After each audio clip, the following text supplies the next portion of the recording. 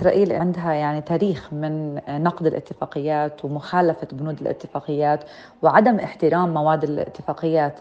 L'occupation a un passif en matière de non-respect, de violation des accords avec la Palestine. Nos garants aujourd'hui sont les médiateurs, à savoir le Qatar, l'Égypte et les États-Unis, car ils veillent pleinement au respect des clauses de l'accord de trêve. Mais il ne faut jamais oublier que l'occupation n'a même pas respecté les accords d'Oslo en 93 et n'a jamais libéré les détenus de cette période comme prévu. C'est pour cela qu'on compte beaucoup sur la médiation du Qatar, l'Égypte et les États-Unis pour veiller à la l'application de l'accord.